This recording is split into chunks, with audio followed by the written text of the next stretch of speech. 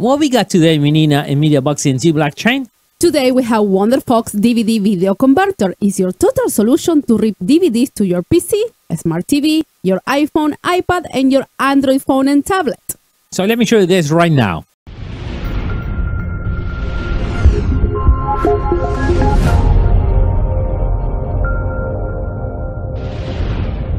Hey, how you doing everyone. This is Dario from MediaBox ENT Blockchain. And this is the software you're looking for. Why? Because now it's time if you have all these DVDs, I guess it's taking a lot of space in your house. Maybe you kids, you know, kids like to watch the same cartoon a hundred times and it gets a scratch, the finger you gotta clean, and takes a lot of space. So it's time to make this in a real small format, a virtual format where you carry it right in your hard drive. If you run a Plex server, what idea? You just put everything on a Plex server, play anywhere in your house. Maybe you want some in the tablet for travel. Before you, you travel, you put all your movies there. You can download movies. You can do whatever you want. But it's nice because you said, you know, my, my case maybe have a, a, a an iPhone and maybe somebody else has a, a Google phone and it has different formats and you want to change it to that format because it takes less space. You don't want to collect your phone with a 4 gigabyte file when you can make it only 6, 600 megabytes. I will show you all this the software, how easy it is to convert to any format, to an MP3, to a web version, and to anything you want. So one file, you can convert it to anything you want. Besides, you can is, is uh, read an ISO file, read DVDs, or use it to exchange between formats from like one movie to an, M, an MP3 format. So let me show you that right now, how the whole thing works. And always remember, all the information that require you to get this software is right below this video, the link for you. So, but let's go and let me show you how the software works. So the first thing we need to do is just go to the main page. We're going to be downloading the software. So the information will be right below the video or either right in the post. So we can download the free version and it's compatible with Windows 10, 8, 7, Vista, even XP. So when you download it, you execute it and you install it. Once it's installed, we execute the software for first. So we are in the main software now, but it's simple to use. Here we're going to put any files, local computers. Here the ones we download, external. We load DVDs, ringtones, in these, this is different formats. What it make it nice, and I show you right now. You have an Apple. Depends the version you have. You have an iPhone 8. Click an iPhone 8, and then now you can exchange it to an in a phone, um, iPhone 8. Uh, Google phones, Samsung, in different format. TVs, the smart TV, projectors. Now maybe I want to change it to a 4K. Maybe I want an audio version because I download a bunch of videos of the movie that I have in a DVD, and I want to make it an, an MP4 format, but now maybe I want to carry my car, or maybe it's a soundtrack and I want to make an MP3 format. So you can click and make an MP3 format. Uh, you want a web version, maybe you have your own page and you want to do it in a different format, you can do that too. You can create your own CAFTA format. So what we're going to do now, I'm going to go to my page. This is my video. I'm going to click in my video. It can be anything else, okay? So I'll show you a sample of my page. I click below. I copy here. I click Analyze. It's going to analyze and give me the highest resolution available. Normal, my videos are 720, so it's going to show me 720. If you download anything 1080, it will be 1080 or 4K. So here we have different available formats. For me, logical, I will download it the highest resolution. Destination of the software, we click Downloads And listen, 20 seconds or 10 seconds. Done. That's it, it's done.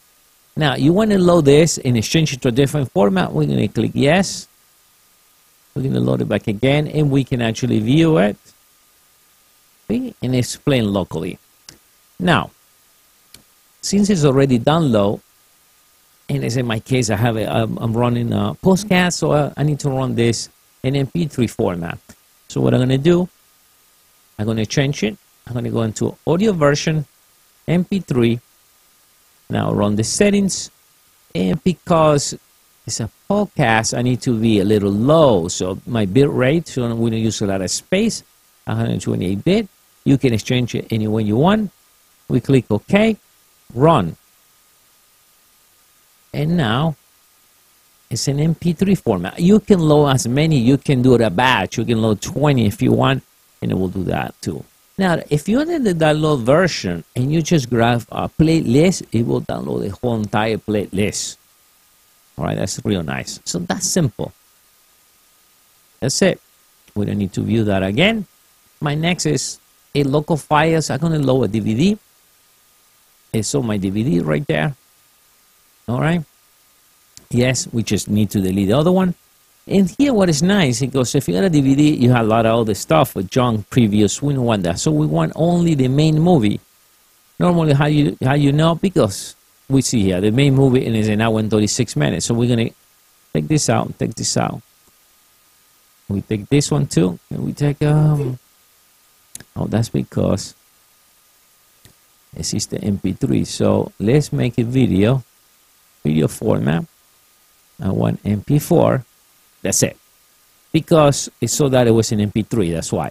So now, see, if there's another language available, show here, titles disabled. See, we can put title 51 with the titles into automatic to the video. Even we can edit and we can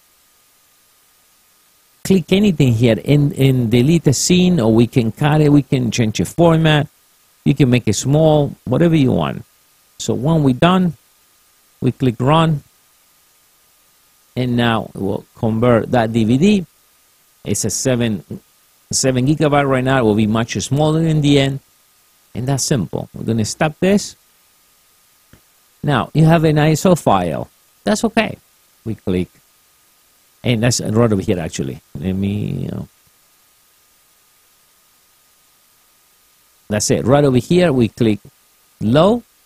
Let me go into my uh, open. And that's the original ISO file. As we see here we see the main movie.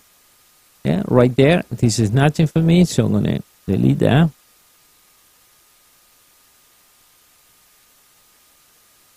We remove it. That's it. And maybe I want to change it to a different format. Uh, I want it for my iPhone. Uh, let me see what we had iPhone A, A plus, iPhone that's it. Done. Here we got the version of the audio. We can exchange that if we want, if it's available. See, at one time, I don't want any title. We click run, and I will do it. Now that's nice. You want to make a ringtone? We come here and we can load, uh, load a file. It will make automatic ringtone in different format. Now let me show you to edit.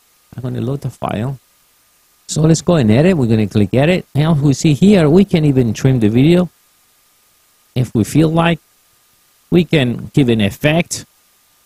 We can forward. And then we click OK. And it will now make a new video. When it's done, we click run and it will exchange it and save it to the format of the iPhone. So let's cover some of the configuration. Here, you'll be able to update your software we click the hammer and a few questions pretty simple. What the sounds are when it's down you download destination conversion a you want the highest core available have a and you want especially with the cpu i want the higher so i want all the attention to be in the software. In my case that's what i want and if you want to click here if you are available any gpu will go fast. Uh task 99 for download it and yes when activate to load the reaper. So that will be there. Now, what is nice if you guys need more, figure out more things, you're gonna click right over here, and it's pretty nice troubleshooting page. It gives you a lot information how to convert the video.